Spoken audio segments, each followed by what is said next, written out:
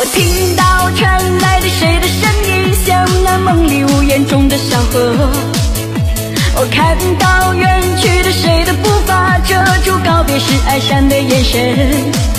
不明白的是，为何你情人让风尘刻画你的样子，就像早已忘却的名字，曾经拥有你的名字，我的声音。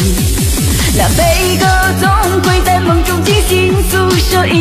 伤过的往事。那看似满不在乎转过身的，是风干泪眼后萧瑟的影子。不明白的是，为何人世间总不能溶解你的样子？是否来迟了明日的愿言，早已写了你的笑容，我的心情。不变的你，伫立在茫茫的城市中，提着心爱的灯笼。